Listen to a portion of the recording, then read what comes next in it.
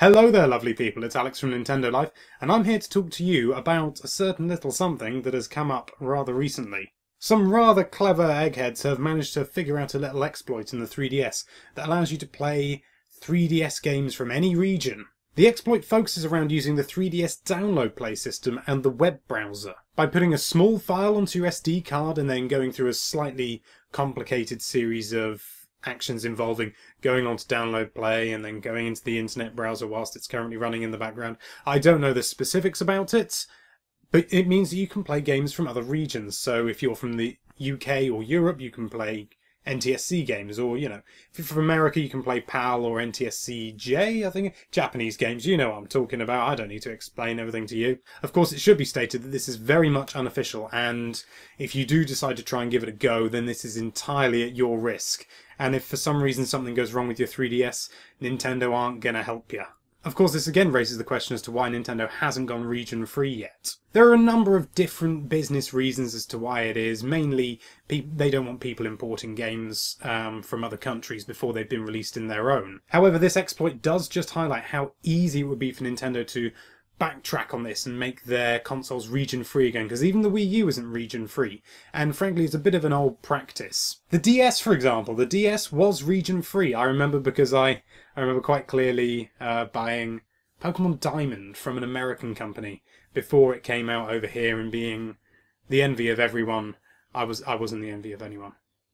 But I did have Pokemon before them so Nevertheless, as with all exploits, Nintendo's very hot on this sort of thing, and it won't be long before a 3DS update will come out and patch this right out. So, if you want to try it out, go ahead!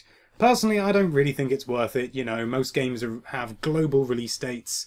For example, um, Smash Bros. came out within, you know, a couple of weeks on in all regions just doesn't seem worth it. Of course, there are games that are exclusive to other regions, but that's a whole other kettle of fish. If you're super serious about buying games from other countries, then I would suggest getting a foreign system that will be able to play them natively. Because, yeah, it's expensive, but it's the safest way to do it. You know, it's totally legal, and you're not going to get Nintendo knocking on your door and updating your 3DS at gunpoint. They won't do that anyway, but it you know it keeps me up at night. It's better to just go for another console. It means owning two consoles, but that's the price you pay, unfortunately. I don't think Nintendo are going to make the 3DS, even the new 3DS or the Wii U, region free. But I would be very surprised if next generation we didn't have a complete overhaul and everything's fair game, so you can play all of your Japanese games without knowing what the hell's going on because nobody really speaks Japanese outside of Japan. That's a huge sweeping statement. Loads of people speak Japanese, I'm sure. But me, I don't know a word. I do, I know a few. So what do you lot make of all this? Are you going to give it a go? Do you think it's not really worth it? I'm going to go with the latter, to be honest, I've already stated.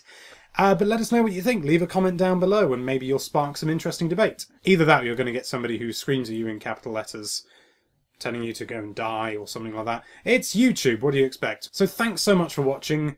Be sure to go to nintendolife.com for all sorts of lovely Nintendo related content.